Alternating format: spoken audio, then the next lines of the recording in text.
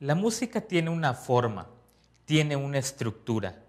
Si ponemos un poco de atención, nos daremos cuenta que las canciones más populares y comerciales, aquellas que escuchamos a diario en la radio, básicamente tienen algo que llamamos estrofas y coros.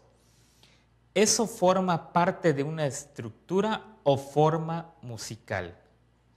Por lo general, nosotros memorizamos el coro y lo cantamos camino al lugar donde vayamos, en el auto, en el urbano o caminando. Muchas veces no memorizamos las estrofas y cuando escuchamos de nuevo nuestra canción favorita, tarareamos las estrofas o dejamos ese espacio. Pero cuando llega el coro, en automático lo cantamos casi por instinto.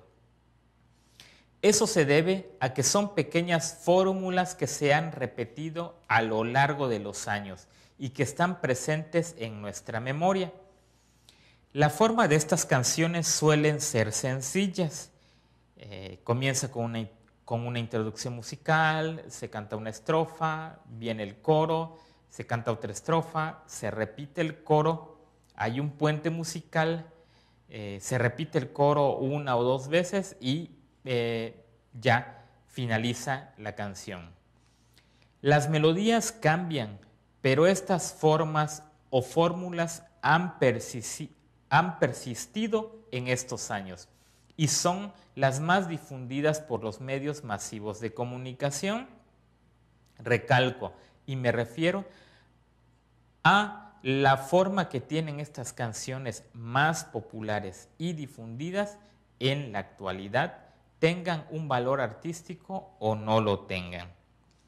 Hay que tener en cuenta que la música puede tener diversas funciones en nuestra sociedad. Me gustaría mostrarte cómo yo percibo la forma musical de una pequeña pieza que seguramente tú ya conoces. Es muy famosa.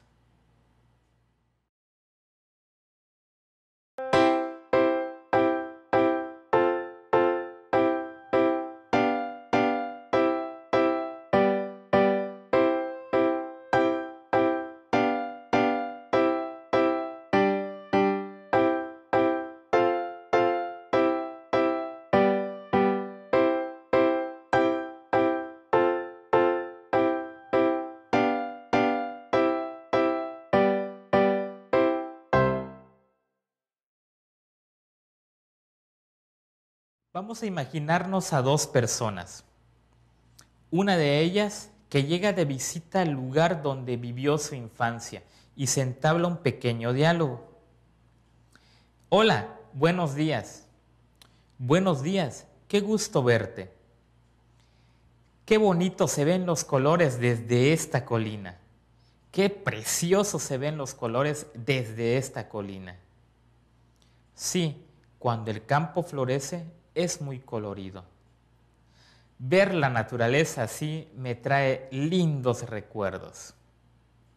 Bien, ahora vamos a hacer una pequeña comparación de este diálogo con la canción de Estrellita que escuchaste anteriormente.